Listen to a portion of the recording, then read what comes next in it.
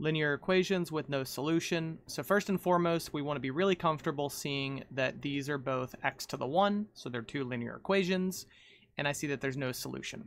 So I, I prefer to just do these ones by hand. You can see this one does not have uh, answer choices.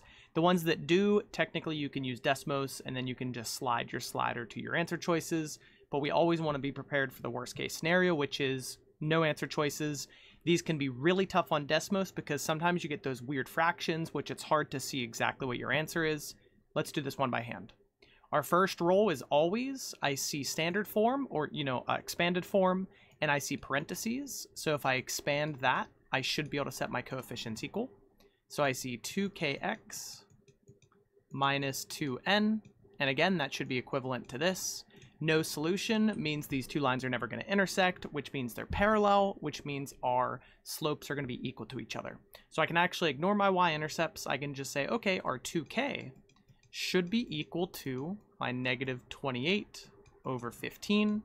And then I can divide both sides by 2.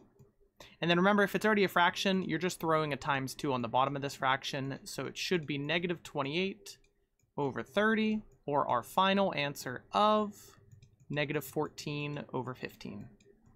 And that's it.